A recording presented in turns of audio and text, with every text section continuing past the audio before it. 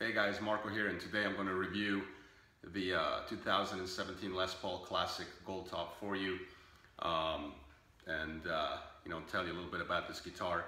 Uh, before I start, I just want to make a couple disclosures um, so that uh, you know you don't go on the uh, comment section and uh, you know bash the the hell out of me. So I just figured, hey, let me be upfront about certain things, and you know I hope uh, you know, it helps you if you're considering buying this guitar. I just got it in today and uh, uh, maybe uh, it'll help you make a decision uh, regarding picking this particular guitar up or no. So first thing is um, I'm not a professional uh, guitar reviewer. I don't, you know, I don't work for Guitar Center, Premier Guitar, anything like that. So you're not gonna get one of those neutral reviews. This is gonna be 100% subjective. So uh, uh, please don't go and, and, and, bash me. I'm telling you right now, it's going to be subjective. And, uh, uh, you know, there's a certain way I feel about things like I'm sure you do too, like we guitar players do with our egos. And, um, and uh, you know, this is strictly all subjective, uh, the way I feel about this particular guitar and playing in general. So you might hear some really stupid and ridiculous things. And, you know, just I hope you appreciate it for, for, for, for what it is. Um, number two, which is probably going to sound weird, I'm not even really that big of a Gibson fan. Um, you know, I, uh, which you probably think is retarded because I'm holding a, you know, Les Paul that I just bought. Um, you know, I grew up a certain way associating certain guitars with certain types of playing, which of course is completely ridiculous. You can play, uh, you know, uh, anything on any style, but when I think, uh, you know, I always tried to be a, um, you know, I wanted to be a virtuosic player. Uh, and uh, I associated that with certain guitars because that's just how I grew up and how it was sold to me and I totally bought into that. Uh, you know, when I think of, uh, you know, shredding or modern shredding or Nuno Bettencourt type style of playing or, uh, you know, John Petrucci whatever you might have, I just don't picture a Les Paul, which again is ridiculous because you can totally play that on a Les Paul too, you know.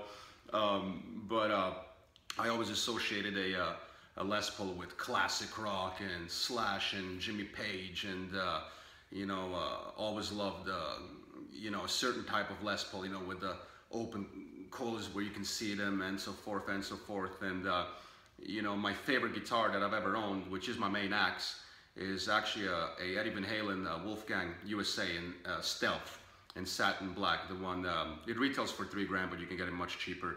I'm only pointing that out because there's also a cheaper version. And to me I'm not even a, that big of a Van Halen fan, to be honest with you. Uh, but uh, that to me is one of the best all-around guitars built in the last five years that I personally love. I love my Nuno, uh, my Washburn N4. Uh, I think just, you know, it looks badass. It looks more like virtuosic type kind of playing.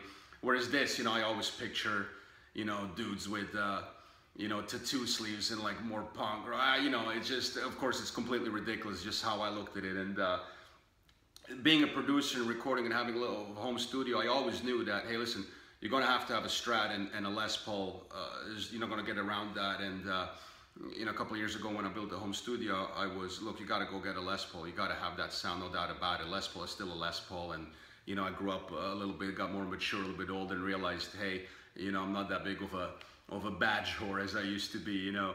Um, but uh, I, I was completely out of touch with uh, what Gibson was doing. And by the end of 2014, I walked into uh, Sam Ash, or Guitar Center here in Hollywood. And uh, you're probably grinning right now. That, that was like when, the, when shit hit the fan. Uh, it was probably not their best period.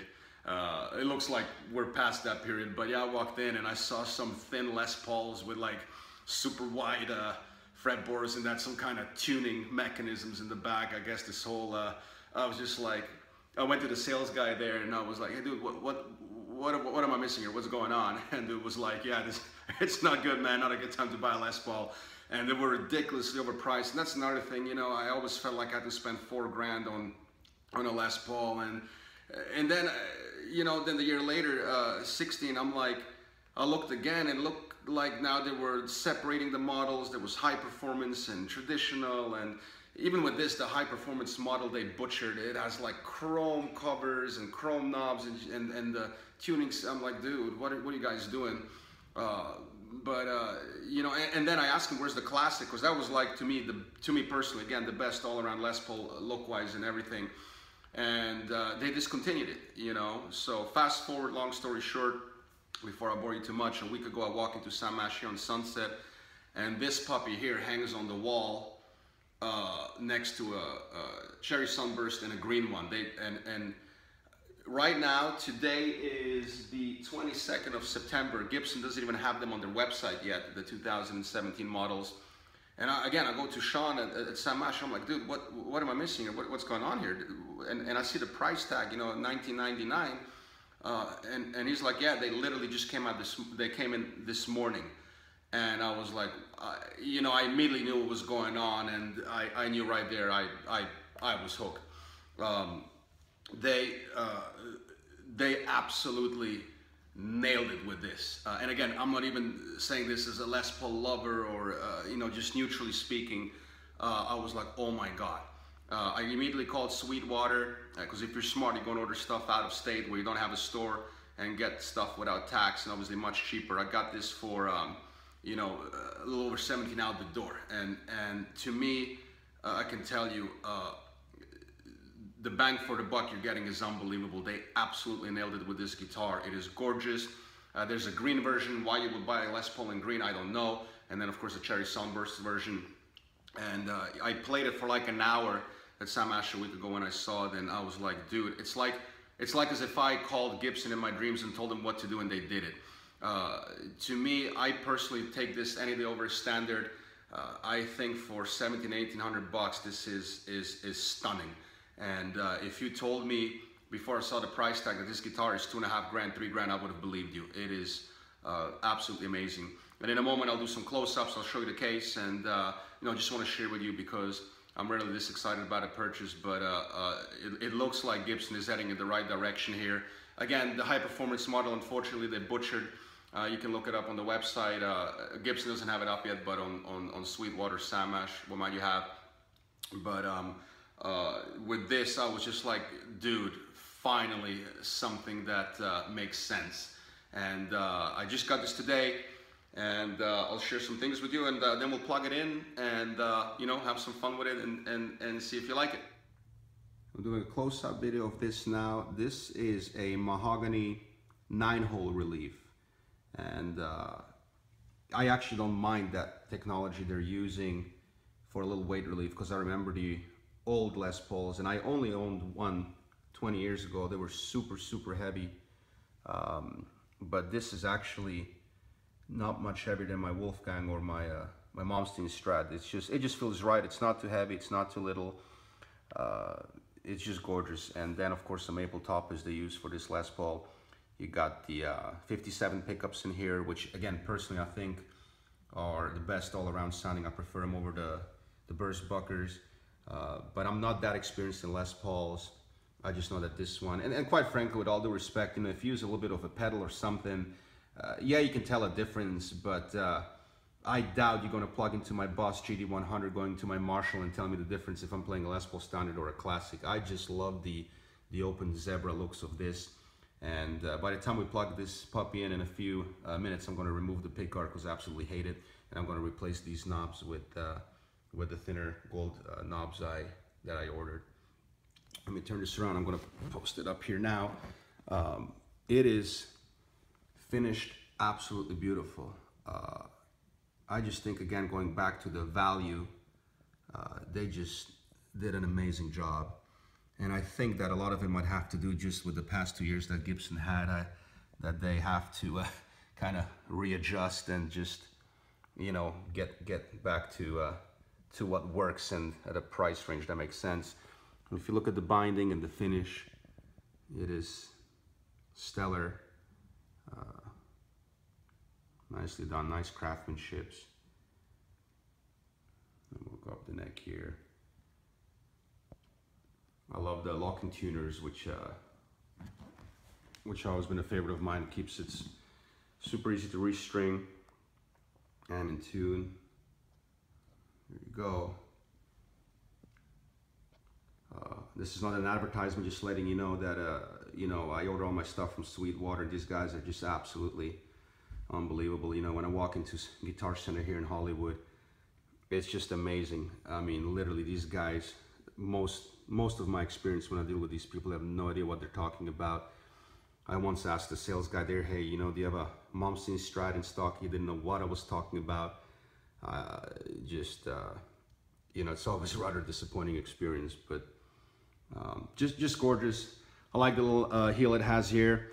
Um, just overall, just stunning. And again, the, the, guitar comes in green. It comes in uh, cherry sunburst, and I picked the gold top just because, again, uh, this just looks to me amazing.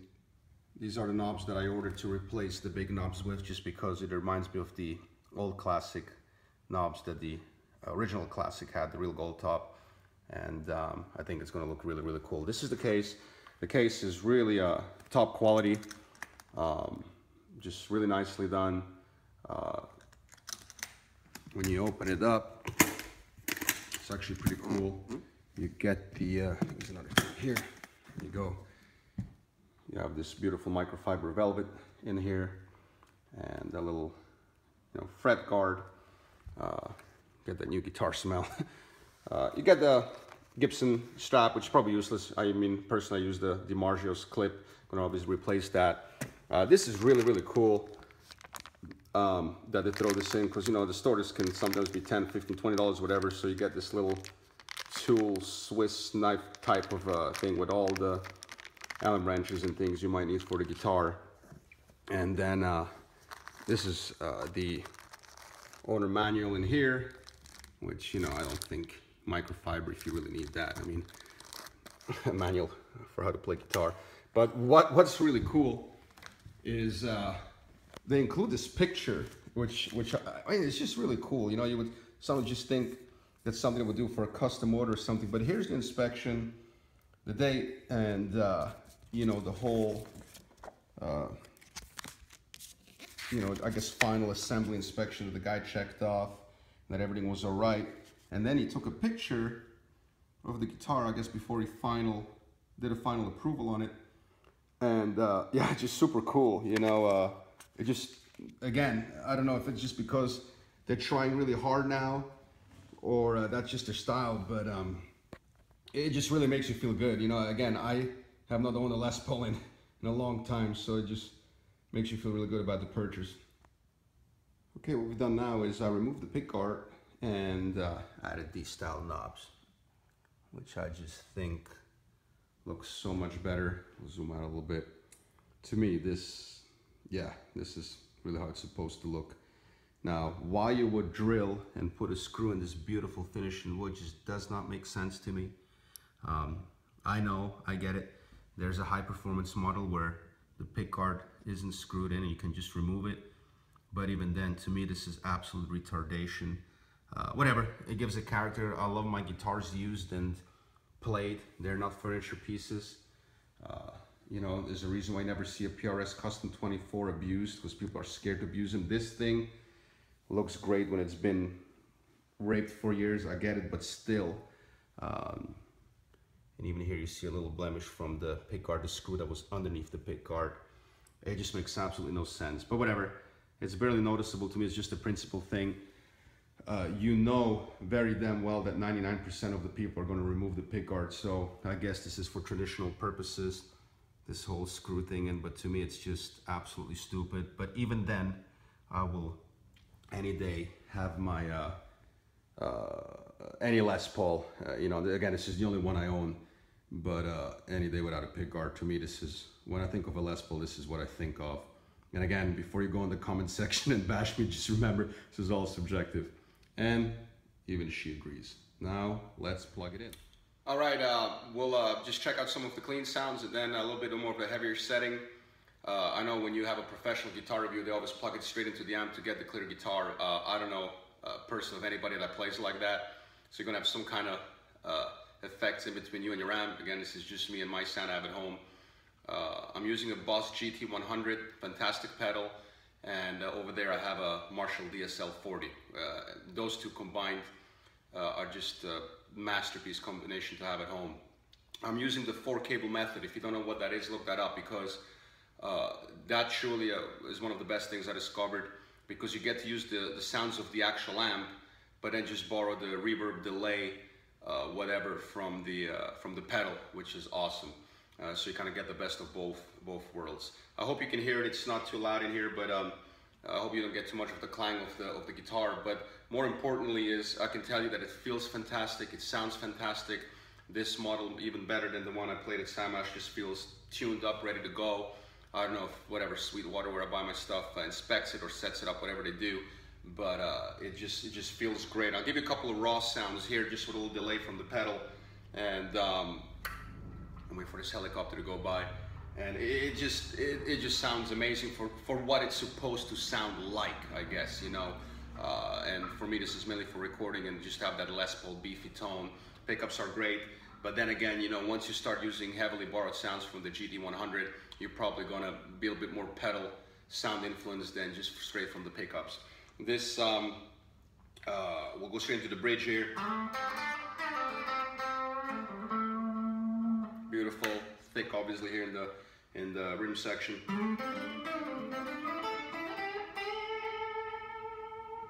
I know there's that Plek method that Gibson uses. I can tell you the frets feel fantastic just so like on my Wolfgang, they're, um, it just, you can tell the guitar is, is tuned and, and, and built really, really well. The frets all over the fretboard feel great. Uh, still new strings, I'm still getting it fully in tune, but uh, I'll give you like a little bit of a pinch sound down the neck and then one up the neck.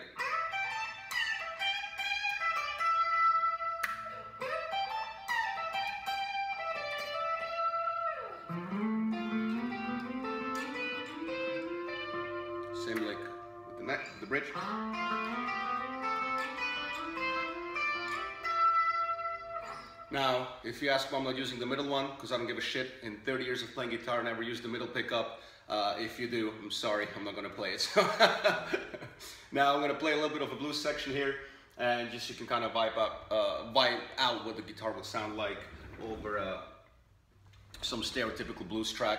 And the whole idea is I'm gonna go back between the neck and the bridge pickup so you can uh, get a little bit of a taste of, of, of what, it, what it feels like. And here we go.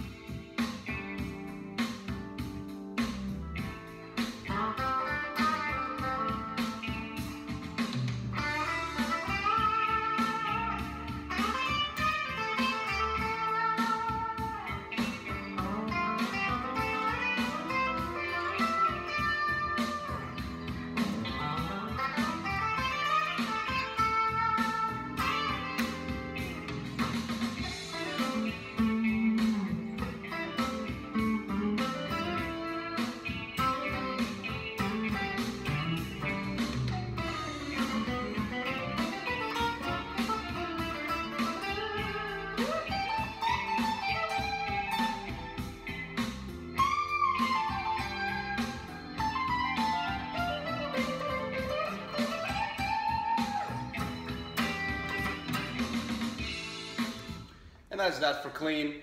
And uh, next I'm gonna pull up, uh, you know what, let's do the uh, outro solo to Gary Moore, Still Got the Blues. Because again, I associate the Les Paul with him. And it's a perfect solo, outro solo. Of course, I'm gonna butcher it compared to uh, what he did. May rest in peace, man. One of, one of, in my opinion, greatest ever.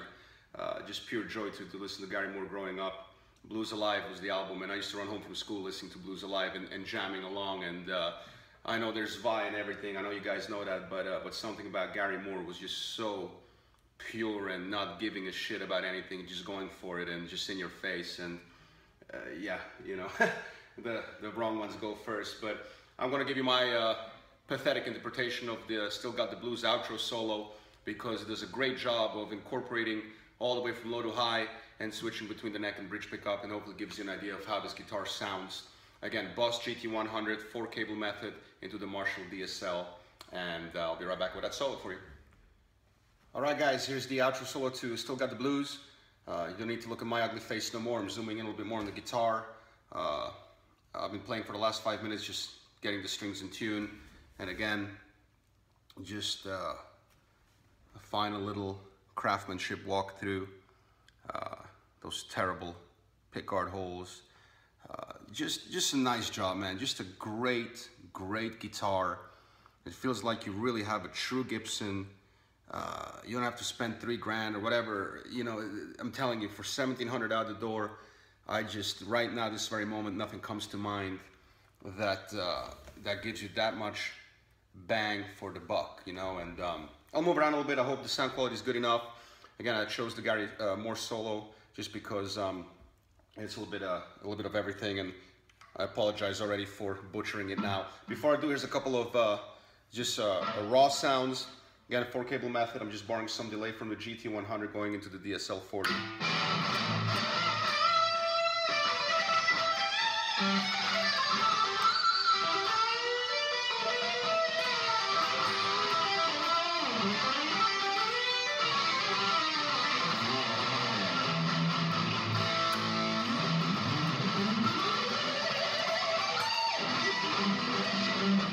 Still, getting to know the neck. I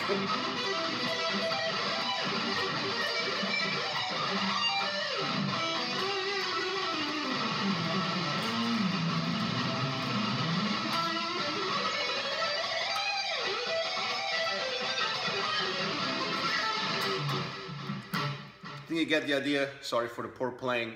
Uh, this neck is a little bit thicker. I guess it's still considered a slim profile, so it's not as thick as like the uh, the traditional, I believe, or the the standard. But it is definitely a little bit thicker than uh, than my N4 and the um, and uh, and the Wolfgang Stealth. Uh, so, uh, but it feels good. It feels good. I have a feeling that um, it's not letting me down, and if I play this for a week, it's just going to be absolutely stellar. Uh, let's see what it sounds like over over some sound.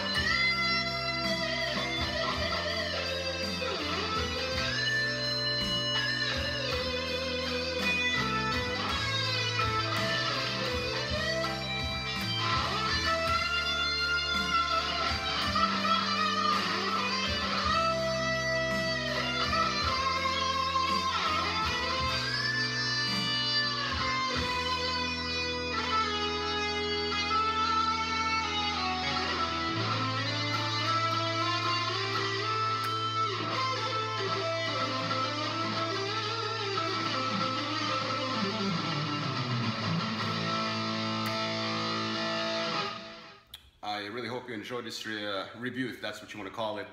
More so like just my personal feedback on uh, this Les Paul. I'm excited, and you know, uh, with guitar players, it's really, really cool when you get a something, um, I guess, new, quote unquote, uh, out there that that's uh, uh, that catches your eye. And I think this is gonna, you know, just really, really make you happy. This instrument, and more so from what I understand, the, the last two years were Gibson's finest. Again, I've been out of the Gibson loop, but uh, I can tell you with uh, with this thing, they're surely uh, on the right path. Uh, personally, and I'm no super pro, but I can tell you that for um, for the money, I just uh, this is an amazing Les Paul. It's not just a Les Paul, but an amazing Les Paul. Feels great, handles great. Again, I only got about 40 minutes playing time on it, and I look forward to spending uh, you know weeks on it, and most importantly, recording because that's what I do produce. Uh, I apologize for the butchered playing. Uh, you know, uh, a little bit out of shape, but um, you know, just uh, final look. Um, also the craftsmanship again, just uh, you know, you can tell here where the glue is. It just everything. There's no spots. Uh, it just really, really feels good. It feels expensive, and and again, I've been out of the loop. If you told me this was one of those real gold top something for three grand, I would have believed you. Pickups sound great. Obviously, I'm borrowing a little bit of lead from the GT100 through the Marshall, but it is pretty much the DNA of the guitar than that. And um, you know, my personal preference is obviously without the pick guard and the uh, the smaller or more like tight-headed knobs, if you will. Hope you enjoyed. If you have any questions, you know, leave a comment, and I'll be more than happy to give you some more feedback if you uh, if you're thinking about investing into this particular guitar. I love it. I think it's a great purchase, and um, uh, you know, it's what it's supposed to do. Uh, you know, play music and make us happy. I'll see you out there, guys. Thank you so much for watching.